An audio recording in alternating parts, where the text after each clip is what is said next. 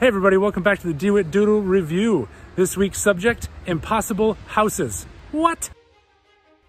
Impossible houses are my way of drawing inorganic things uh, to make it fun for me. I'm generally into drawing faces and monsters and that kind of thing, so drawing a house or a building or cars, not that fun. So I kind of abandon any sense of perspective or physics, and I started drawing these houses. Much like my last video where I was drawing goofy faces, I don't draw using any kind of constructive method, which is how I do all of my other drawing. This is just grabbing a pencil and going at the page without a plan and seeing what happens. Uh, it's kind of the um, a hip hop equivalent of freestyling.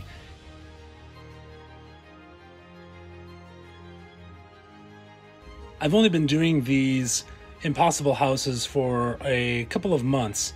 It's kind of a new idea of mine. And at this point, I feel like most of the houses look the same or the same kind of style of uh, fake architecture. But I've got grand ideas of where this could go. Uh, I know this is just the beginning of it, and I just keep doing it uh, over and over and over. These things will develop into much weirder buildings than what I'm currently doing, and uh, that's definitely my goal. I want to create some really, really weird, impossible houses.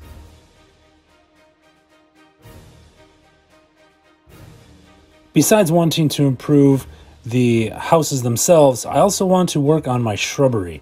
At this point, they're just little fluffy balls that I tuck into the corners around the houses and give them a sense of depth, but um, being a gardener myself, those shrubberies are a little bit to be desired.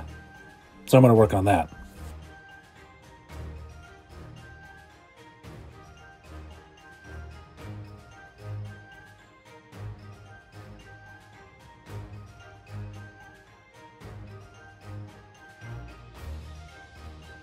I'm drawing once again with my trusty 6B pencil and also a 3B pencil.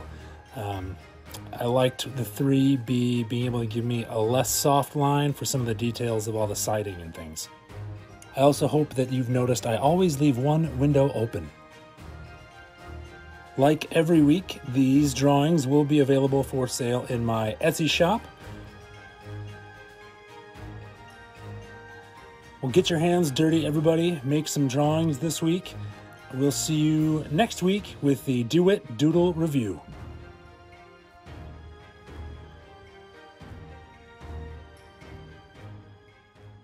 Doodle review. Hey dog, cut it out.